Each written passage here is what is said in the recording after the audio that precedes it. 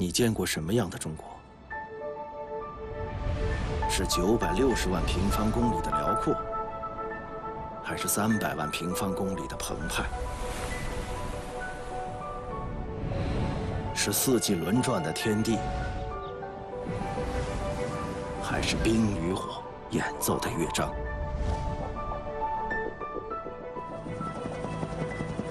像鸟儿一样离开地面，冲上云霄，结果超乎你的想象，前往平时无法到达的地方，看见专属于高空的奇观。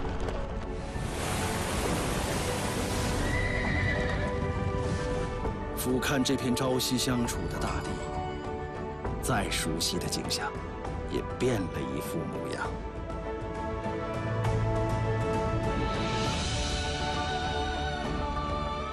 从身边的世界，到远方的家园；从自然地理，到人文历史。五十分钟的空中旅程，前所未有的极致体验。从现在开始，你和我们一同飞跃。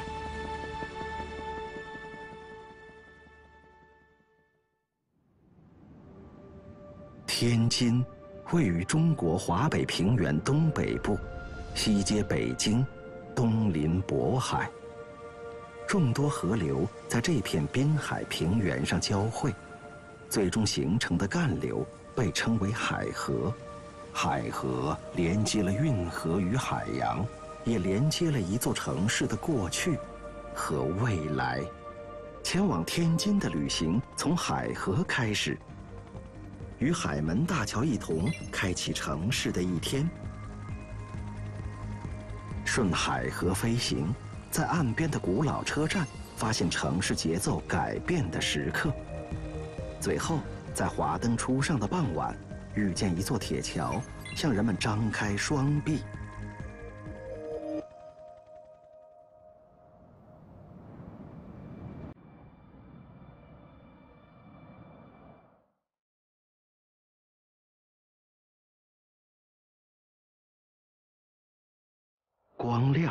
缩短了海河黑夜的长度，每一个黎明的到来都显得迫不及待。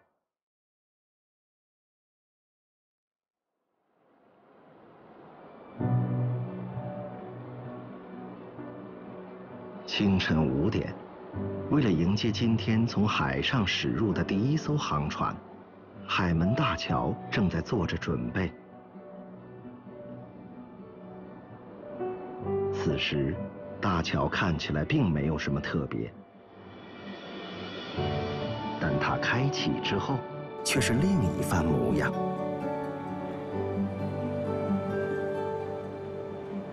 在垂直抬升二十四米之后，大桥留出一个高大宽敞的通道，即便是五千吨级的货船也能轻松通过。从这里，船只逆流而上。用不了多久，朝阳之下，他们将看见一座醒来的城市。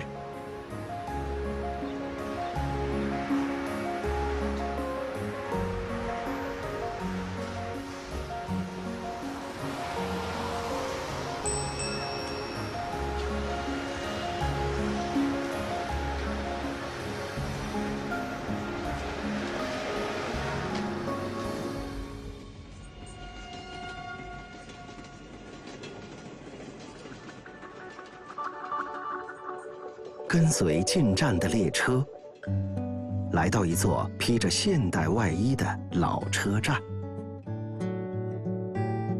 它建成于一百三十多年前。当时人们还在用时辰计算时间，一个时辰是今天的两个小时，而火车的出发和到达需要精确到分钟。于是，时钟。出现在车站上方，提醒着南来北往的旅客千万别误了车。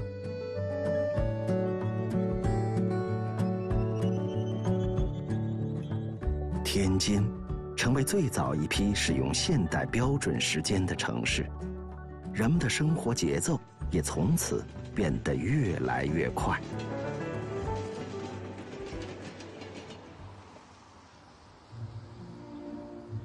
每位进出天津站的乘客，都会看到这座巨大的时钟。上个世纪的最后一年，人们因为时间的话题变得无法淡定。一个世纪要结束，一个千年要来临，大家都想在新千年到来的时候做一些什么，所以。世纪钟被设计出来安置于此，不仅是出于计时的需要。希腊的星座图案围聚钟面，罗马数字标注刻度，阿拉伯数字记录修造年代，整座钟的设计元素都由外来的文化符号构成。唯独钟面最醒目的位置上。是用汉字书写的“天津”。在这座时间机器里，转动着一座中国城市与世界同行的渴望。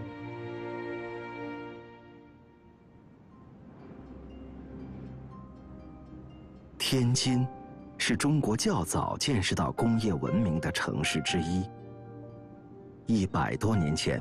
他被迫作为早期开埠通商的口岸，从此，海河两岸成为外来资本青睐的宝地。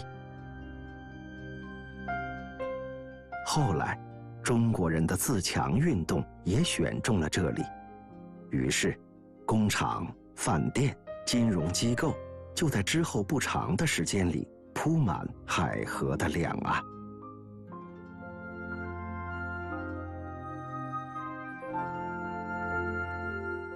这片红色建筑群是棉三创意街区，它的前身之一宝城纱厂，在九十多年前成为中国最早实行八小时工作制的地方。当时，人们见识到机器的生产效率远远高于人工，便让机器昼夜不停。工人三班倒，这样一个班就是八小时。从此，人们有了更多的时间享受下班之后的放松与悠闲。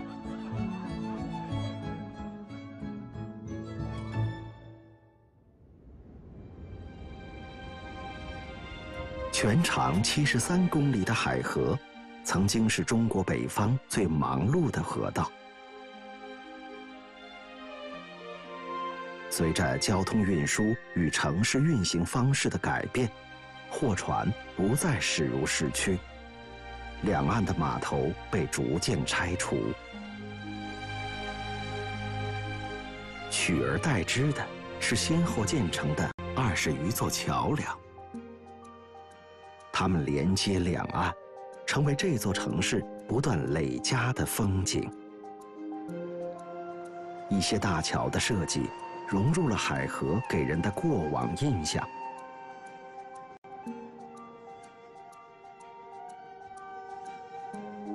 而这座桥用船帆的创意元素，释放出一座临海城市的全新气质。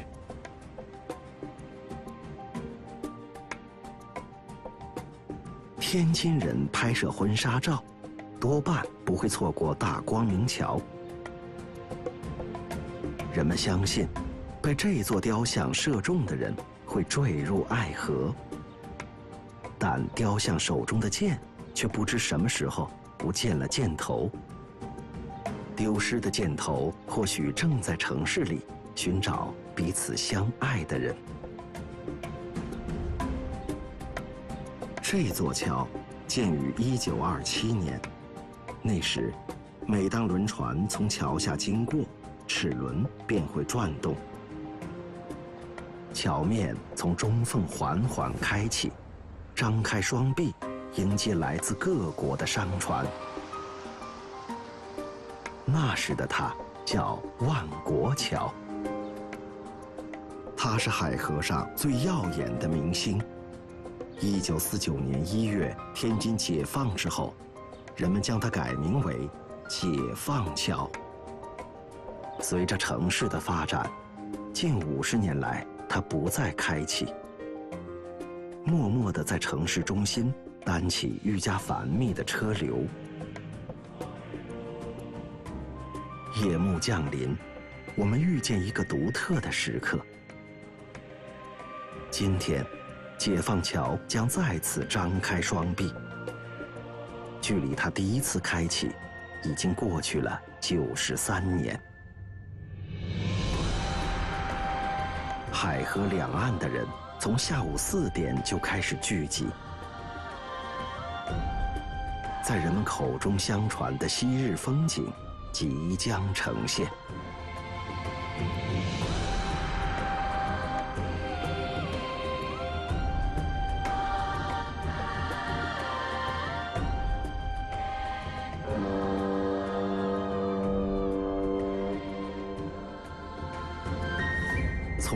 刻开始，每一个重要的日子，解放桥都会开启。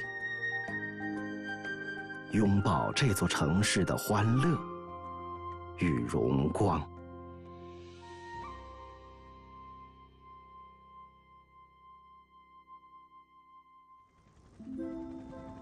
这趟旅程，我们将穿越云层，掠过这座城市的百年巨变，探索天津财富最早的聚集地，前往一片异国情调的老街区。追忆天津小洋楼里的往事浮沉，在城市的流光溢彩中感受穿越时空的力量。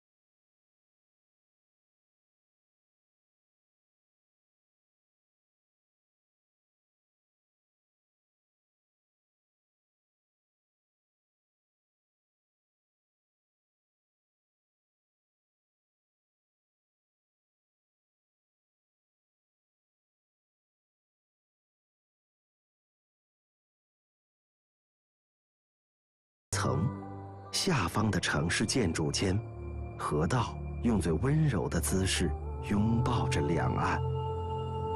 这是海河在天津市区最大的一个弯道。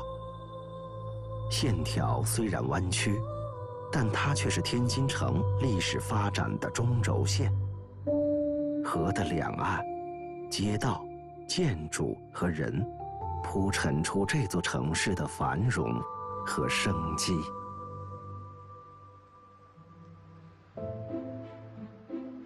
这条街道叫做解放北路。道路两边的建筑物有个共同之处，它们的大门之外都有西式风格的立柱。立柱的顶部隐藏着有趣的细节。这种朴实无华的敦厚造型，被人们称为“男人柱”。顶部带漩涡状的造型，看起来像是女性的卷发，被称为“女人柱”。虽然立柱风格不尽相同，但这些最早源于希腊神庙的元素，却成为这条街大多建筑的必备样式。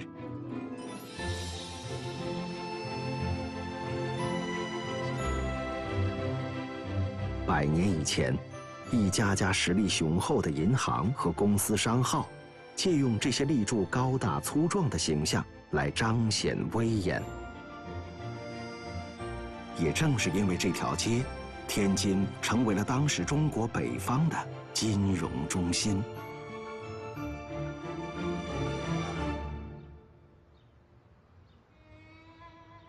在天津开埠仅仅三年之后的1863年，利顺德大饭店在这条街上开门营业。中国第一代电灯、电话、电梯、煤气、自来水乃至消防设施均被引入饭店。它一下成为了当时社会各界名流聚集、最豪华、摩登的社交场所。一九八七年，利顺德的新楼落成。一道玻璃走廊连接起相隔一百多年的新楼与老楼。如今，玻璃走廊意外成为了人们举办婚礼的理想场地。它所连接的两栋大楼，将携手百年的祝福，带给新人。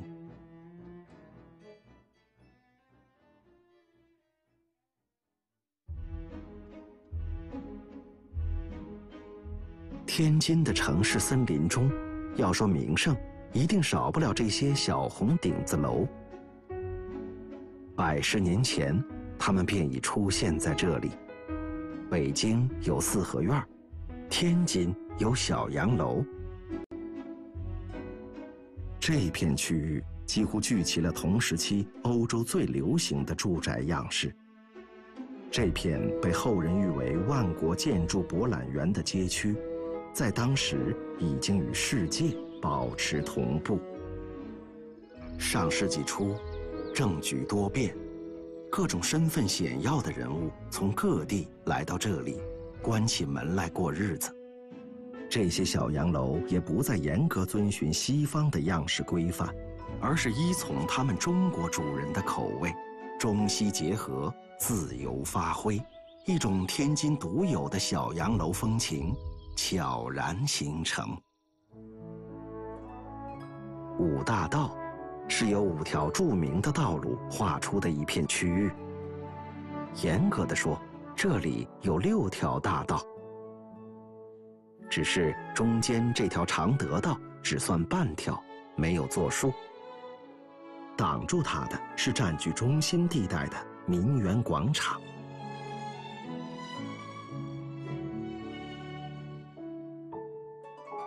早先，五大道曾处在英国租界区。热爱足球的英国人就把体育场摆在生活区的最中心。场地的设计原本并不太讲究，直到1926年，一位出生在天津的英国人李艾瑞，在夺得了奥运会400米冠军之后，带着当时世界上最先进的。伦敦斯坦福桥足球场图纸回到家乡天津，并参与了体育场的改造。民园体育场也由此名声大噪。之后几十年中，它一直是天津乃至全国最著名的体育场之一。如今，球场变成了市民休闲的广场。周围新建了环形走廊，酒吧和商店入驻其中。比赛早已结束，但是热爱生活的人们始终不曾离场。五大道每一座建筑里，都藏着百年的过往。今天，很多小洋楼已经打开大门，供游客们自由参观。而当初，他们大多是平常人不曾进入的神秘地带。当时，最为神秘的访客却并没有住在五大道。不远处，这栋花园洋房里曾经住过的，是末代皇帝溥仪和皇后婉容。离开北京之后，天津是他们第一个落脚的城市。那时候，溥仪夫妇喜欢用英文名字和外界打交道。溥仪叫亨利，婉容的英文名字是伊丽莎白。当时清朝已被推翻了十几年，溥仪却还惦记着复辟之事。几年后，他离开天津，去东北做了伪满洲国的傀儡皇帝，又在伪满洲国政权覆灭后成为了战犯。一九五九年，被新中国特赦后的溥仪才成为一名共和国的公民。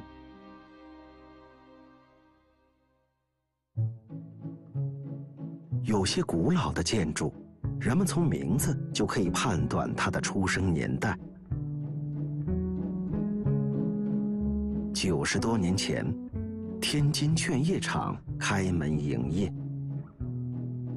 劝业的意思是努力从事工商业。天津劝业场一开张，就汇聚了三百多家独立的商户。四层到六层，还开设了电影院、戏院和茶社。这种集购物和娱乐于一体的商业模式，直到今天。依然是许多大商场的经营法宝。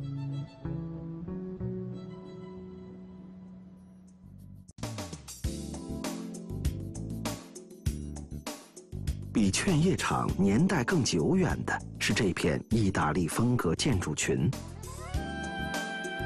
作为今天的休闲区，陈年往事不过成为了它的注解。它今天的使命很简单。只负责为浪漫和快乐充当背景，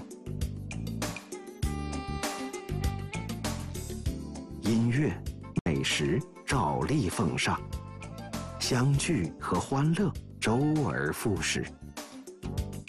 昔日的建筑，今日的人群，常常在夜晚发酵出浪漫的气息，偶尔也会碰撞出杂陈的五味。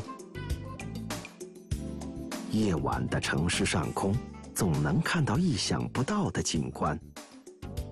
楼顶踢球的人，盼来了这一天的激动时刻；赶着回家的人，开启了漫漫的下班之旅；自我苛求的人，他们的时间似乎不太够用。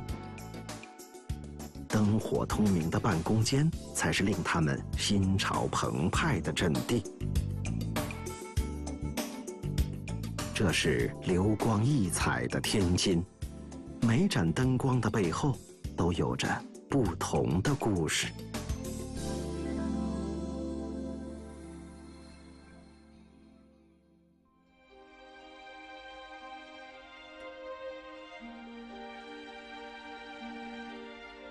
这一天，是南开大学建校一百周年的日子。聚集的人群，绚丽的灯光，将整座校园变成了欢庆的海洋。与它一墙之隔的天津大学，也不由得加入了露天盛典。在追求科学和真理的道路上，两所大学你追我赶，已过百年。在这里，知识。曾经点燃一届一届的学子。今天，他们照亮了校园，也照亮了天津城。学无止境，身边的世界总有未知的远方。灯火阑珊之处，新的探索永不停止。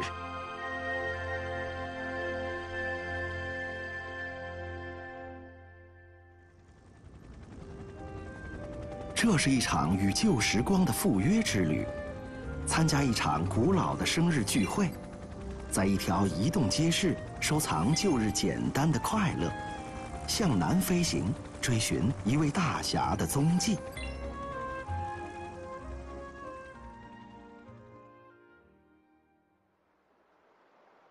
天津，地势低平，河洼众多，素有“九河下梢”之称。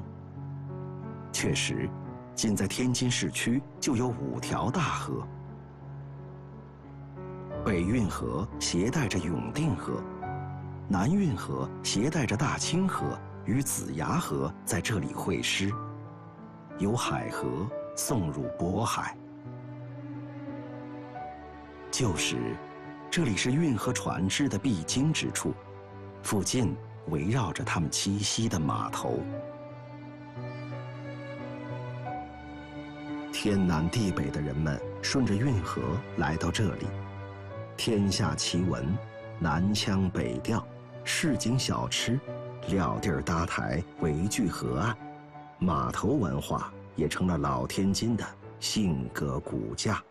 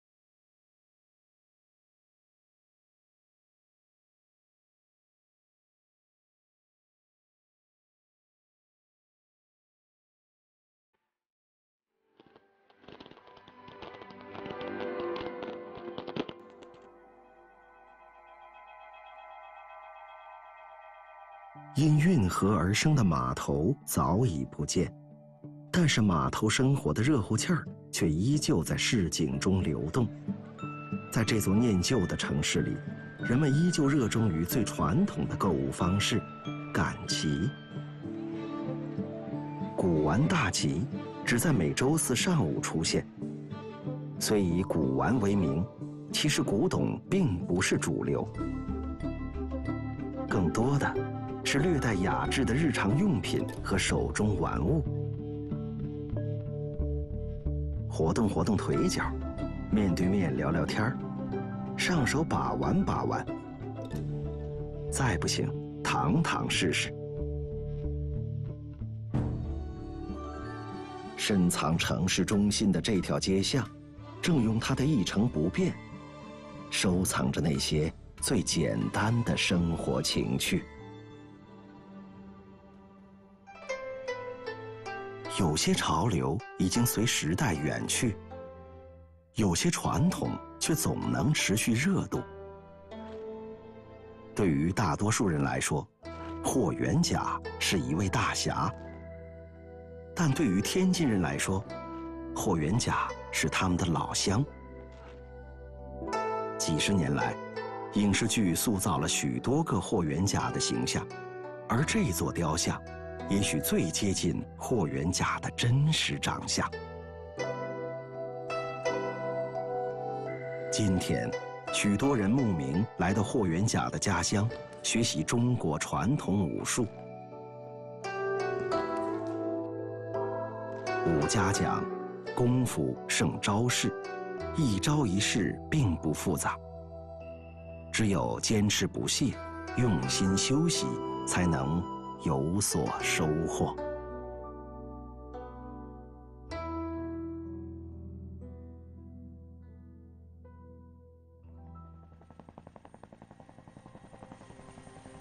天色渐暗，飞行将我们带回三岔河口，夜幕珍藏起旧日时光，灯光重新绘制出城市崭新的轮廓。十多年前，一座摩天轮被设置于此，人们习惯称它为“天津之眼”。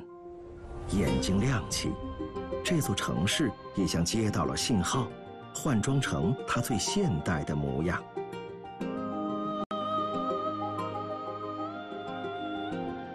一批批游客从摩天轮中抬头远望，看到城市中每个人点亮的那盏灯。组成了这一时刻的景色。看到新增的高楼大厦和灯火辉煌，看到依旧静静流淌的海河水。透过眼睛，一座城市将所有的过往折叠进此时此刻。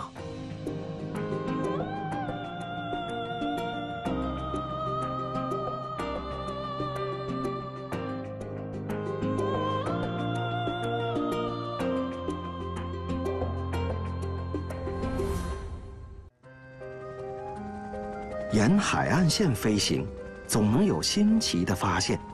跟随货轮从港口出发，去看望一座坚守的灯塔，漫步一片来之不易的沙滩，之后飞临钢铁铸成的庞然巨物，体会别样的惊心动魄。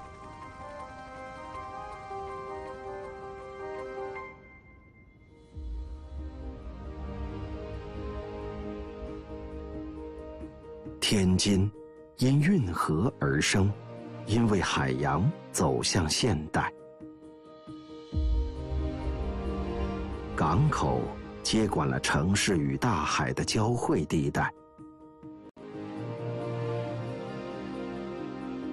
从一九五一年开始，人们挖走淤泥，吹填造路，在一片淤泥浅滩上。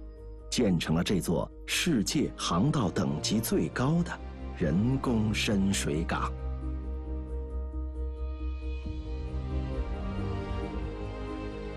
即便卸下了装载的液化天然气，这艘准备离开的船只仍然有三万多吨的重量。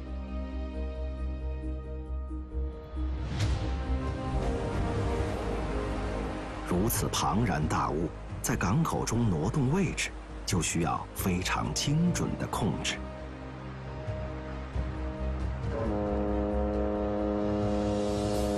它必须关闭动力，让这三艘小小的拖轮送它离开港口，驶入航道。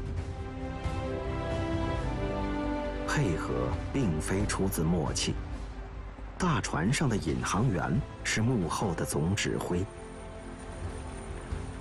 工作完成，直升机放下缆绳，带领引航员赶回港口，登上下一艘船只，继续工作。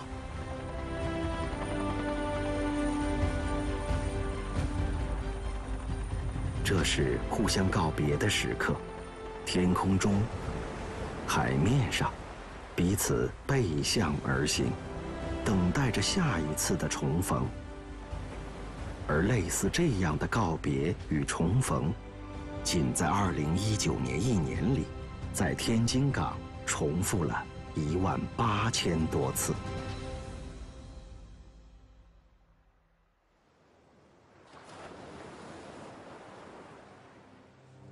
跟随船只向大海深处航行，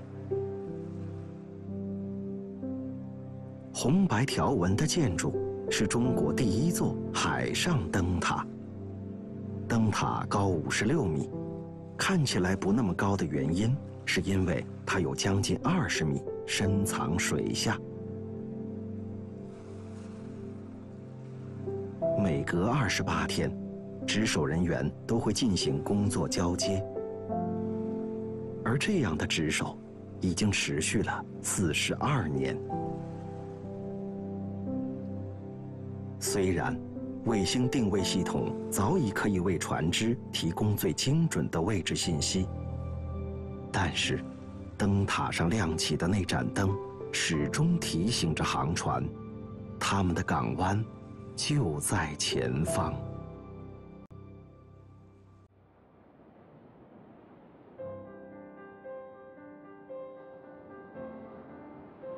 一片金色的沙滩，是人们认为滨海城市海边最该有的样子。早先，天津全长一百五十三公里的海岸线几乎全部由淤泥组成。后来，有心的人士重新装点了这里。他们从福建找到了心仪的细沙，不远千里把它运来，铺出了这片梦想的金黄。沙滩来之不易，自然要见证更加珍贵的时刻。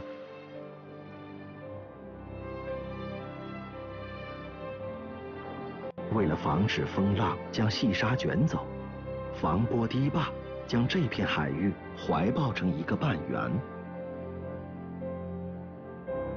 守护着沙滩，也守护着这份美好。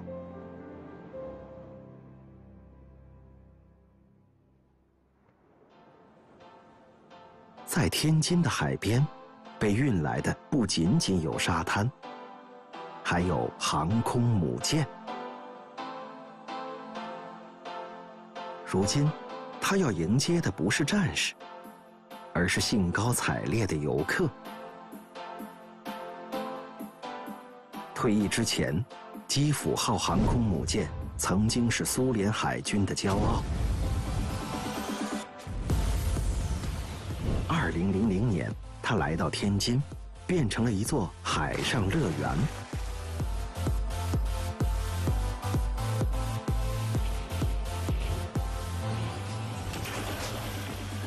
登上一艘航母是许多人的梦想。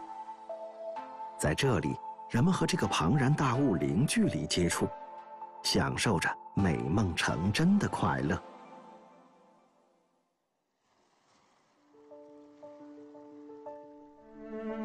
浩瀚海洋，成就过太多人的梦想；潮涨潮落，也将太多的故事掩藏。白色的建筑是国家海洋博物馆，它的外形到底像海洋生物，还是伸向大海的船坞？设计师并没有给出确定的答案。放开想象的空间，把对海洋的理解还给来此参观的人。海洋如何形成？海洋生物如何诞生？人类和海洋如何打上了交道？有趣的故事很长，从将近四十亿年前开始，一直持续到今天。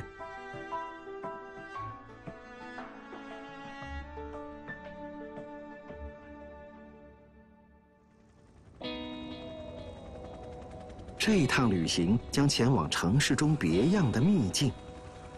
从天空一跃而下，体验一场冲破极限的挑战。探访古老的长城，它已变身为全新的赛场。最后，前往城市里难得的湿地，和那里的新朋友打个招呼。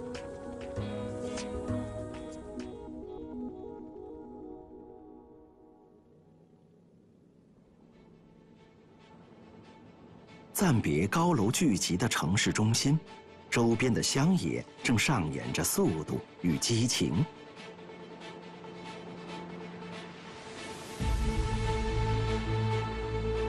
三千米，对于飞机来说并不高，但对于第一次尝试跳伞的人来说，这个高度足以冲破自己的极限。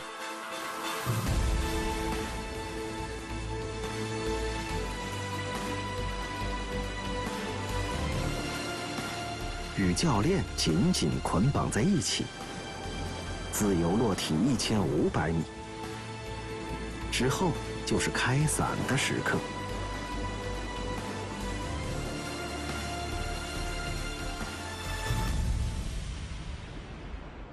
也许勇敢者的数量远比你想象的要多。每年有超过一万人在这片天空体验极限挑战。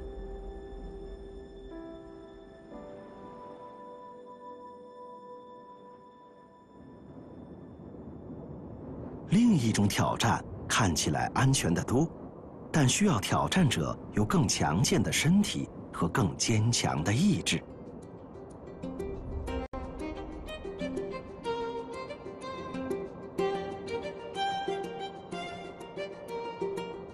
今天，超过两千名选手要在这里完成四十二公里、一百九十五米的赛程。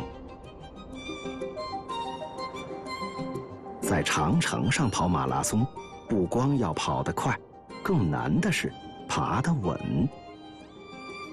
选手们面对的是五千四百一十六级不规则台阶，和上下数百米的高度落差。曾经，人们选择最险要的地势修筑起长城，试图挡住来自远方的力量。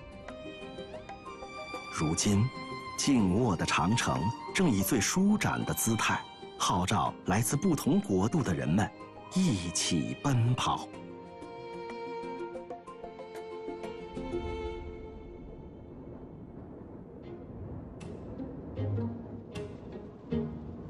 不远处的七里海湿地正迎接着另一批特殊的客人——东方白鹳。全世界仅存六千只，两米多的翼展和纤细的大长腿，让它们成为空中最优雅的舞者。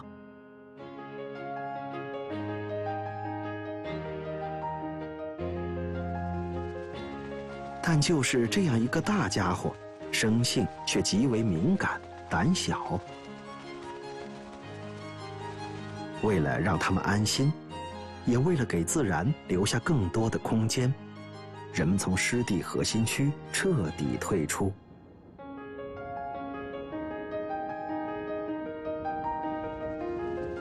来到这里的东方白鹳数量逐渐从多年前的二三十只增加到上百只。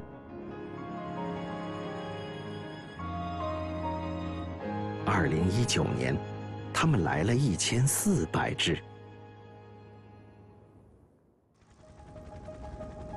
这趟旅程，我们将前往一片新生的市区，在城市公园的地下，发现深藏其中的巨型车站，造访一座特立独行的图书馆，与它一起打量打量周围的世界，最后环绕着新生的楼宇，飞往城市制高点，俯瞰这片大地向上涌动的力量与希望。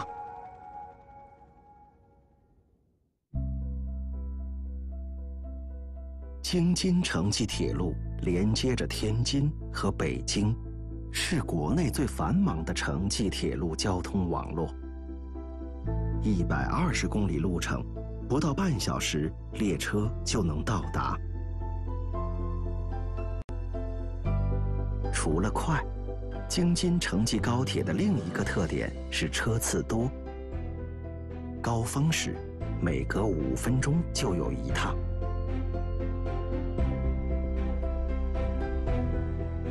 作一天之后，列车要在这里进行检修维护。这是为了保障行驶安全，每天必须做的体检。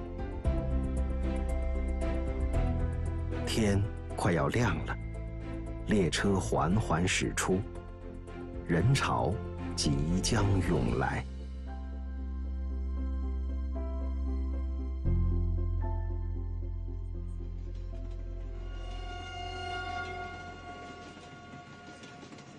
跟随清晨的高铁列车，来到京津城际铁路最东端的始发站。列车突然不见，取而代之的却是一座公园。原来，在贝壳形的半透明屋顶之下，是深达六十五米的密集交通网。从高铁到其他交通方式的无缝转换，都在地下完成。走出这座全世界最大的地下高铁站，就是滨海新区。几十年前海边的盐碱荒滩，如今已成长为中国第一个国家综合改革创新区。流经这里的海河，再有五公里就将汇入大海。告别陆地之前，它恰好可以见证滨海新区给天津带来的活力。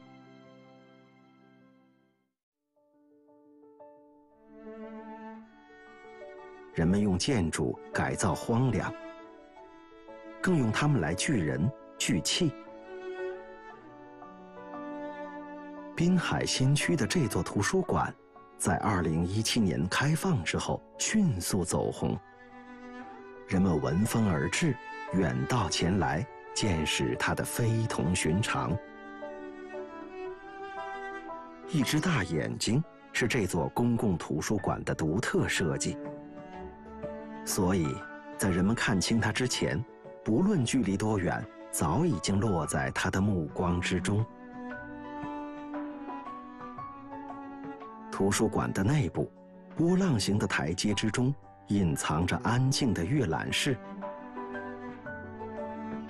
在这里，人们通往书中的世界，通向一个个心灵深处。看书的人，不仅聚集人气。更给滨海新区增添底气。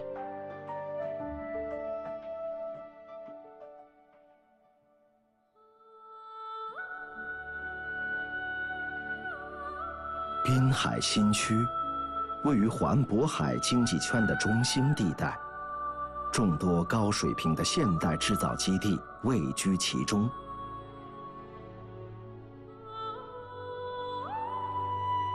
空中飞行，建筑成为最醒目的标志。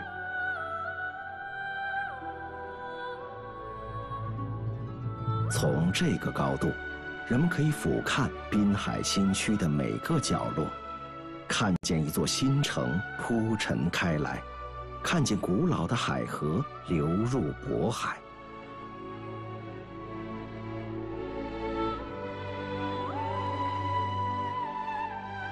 名字往往寄托着期望，所以人们给这座大楼取了个昵称“金箍棒”。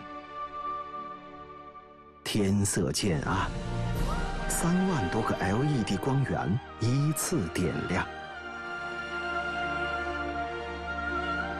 脚下曾是一片泥泞的浅滩，不到三十年的光阴。滨海新区完成了华丽的变身。